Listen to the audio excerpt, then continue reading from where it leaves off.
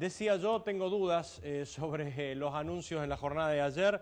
Bueno, ¿cuál es la opinión? ¿Por qué se decide ahora, no antes, no después? Eh, en este, hola. Sí, sí, le escucho, Alberto, le escucho. Un momento, por favor, porque justo estoy en una zona que no tiene buena señal. Bien, bueno, estamos hablando con el titular de TAMSE, el presidente TAMSE, Alberto Jiménez, eh, para tratar de buscar, bueno, su opinión también en torno a estas inquietudes, estas preguntas, estas dudas que tenemos al respecto del acuerdo que se ha logrado con estas dos empresas privadas eh, que se van a hacer cargo de los corredores de la TAMSE, salvo, salvo trolebuses, como estaba explicando mi compañero Alfredo Flori hace un ratito nada más. ¿Ahora sí me escucha, Alberto? Ahora sí, perfectamente. Bueno, ¿cuál es la opinión, cuál es la posición que tiene la municipalidad sobre esto?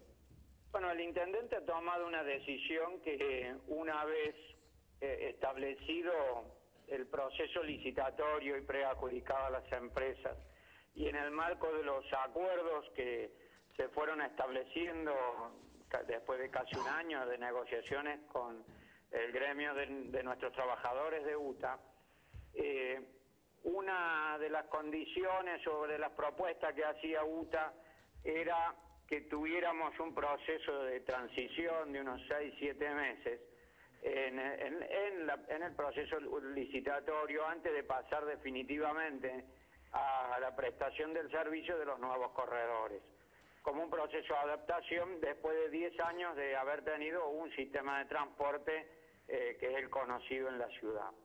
Y por otro lado, en la misma licitación, en las ofertas presentadas por, por las empresas, en este caso, estas dos empresas, Autobuses Santa Fe y ERSA, habían ofrecido eh, poner a disposición 200 unidades cero kilómetros en, la oferta que realizaron en la licitación que se abrió el 27 de abril pasado, para al 31 de julio.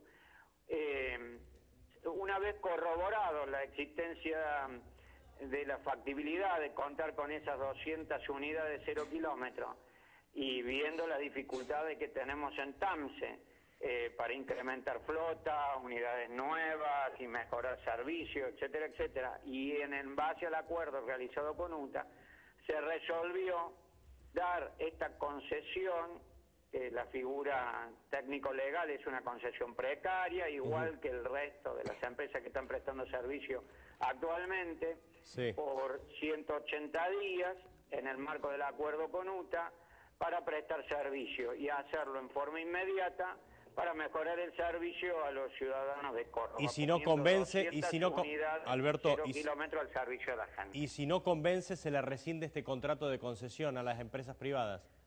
Las empresas privadas todas están en este momento con contratos de concesión precaria, todas, la, totalidad de las empresas que prestan servicio actualmente en la ciudad.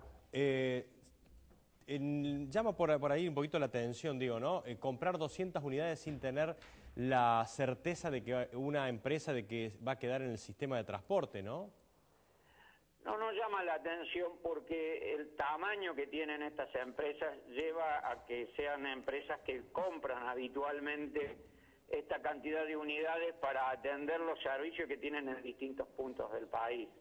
Eh, son empresas que tienen una envergadura patrimonial, económica y un respaldo eh, financiero para poder hacerlo. ¿Este proceso de concesión estaba previsto antes del proceso de licitación o toman la determinación después ustedes, Jiménez? No, no estaba previsto. Lo que no estaba previsto. Eh, no, lo que estaba en el proceso, yo lo expliqué recién, en el proceso eh, de negociaciones fundamentalmente con el gremio que representa a los trabajadores del sector, eh, se planteó en las múltiples reuniones que llevamos al Ministerio de Trabajo como propuesta que hubiera un periodo de transición.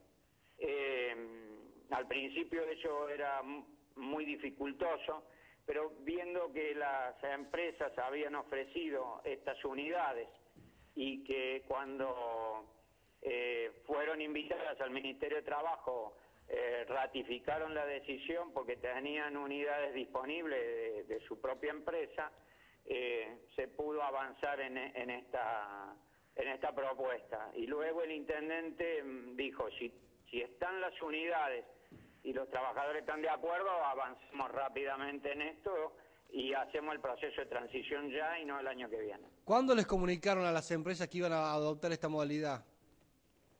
Ahora, hace pocos días. ¿Después que las empresas compraron los colectivos?